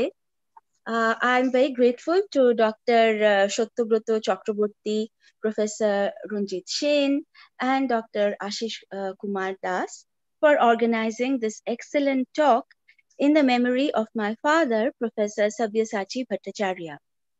আমি অনেক নতুন নতুন তত্ত্ব শিখলাম অনেক নতুন নতুন জিনিস শিখলাম গ্লোবায়ন কথাটা এটা আমার মানে প্রথমবার আমি এটা শুনলাম শিখলাম are uh, I grew up in Delhi, New Delhi, in the JNU uh, campus, and now I live in San Francisco Bay Area. So I think this word is uh, very special to me, and it I can relate to it very well. Uh, I think this uh, memorial lecture was the best tribute possible for my father because he dedicated his whole life to academia he dedicated his whole life to academic research um, and uh, to guiding students um, in their academic research, to teaching, to academic discussion. He spent most of his career uh, teaching economic history at Jawaharlal Nehru University in New Delhi. And he was, in fact, he was there for 35 years. Later, he became uh, Vice Chancellor Upacharya Vishwabharati uh, Vishwavidyalaya and also uh, Chairman of ICHR. Even while he took a break from teaching, he continued his research. And in fact, his last contribution, as all of you know, was the three volume comprehensive history of modern Bengal, published under the leadership of Asiatic Society, published by Primus Publishers. So, once again, I am extremely grateful to our eminent speaker for today, Professor Deepesh Chakraborty from the University of Chicago. Thank you. And of course, thank you to the organizers. Thank you to all the viewers. Thank you.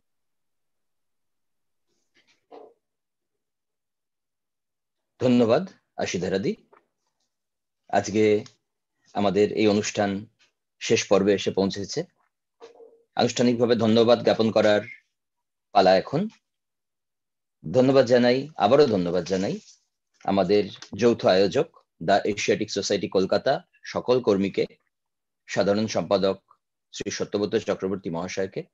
Satyabrata বাবু আজকে অত্যন্ত দ্রুততার সঙ্গে office থেকে ফিরে খুব কষ্টের সঙ্গেই এই লেকচার সিরিজে জয়েন করেছেন। ধন্যবাদ, স্যার। আমাদের সকল সদস্যকে ধন্যবাদ জানাই, আমাদের সংসদের সকল কর্মীকে ধন্যবাদ জানাই, বিশেষ ধন্যবাদ জানাই আমাদের ডিজিটাল টিমের কর্মীদের যারা আজকে এই অনুষ্ঠানের আয়োজন করতে পেরেছেন ডিজিটাল মাধ্যমে। একটি বিশেষ ঘোষণা, আমাদের সাঁত্রিশতম বার্ষিক অধিবেশন আগত প্রায়। আপনারা সকলেই জানেন কোভিড পরিস্থিতিতে আমরা এখনও ভেনু এবং ডেট ঠিক করতে পারিনি, কিন্তু তার জন্য আমাদের একাডেমিক প্রস্তুতি বসে নেই।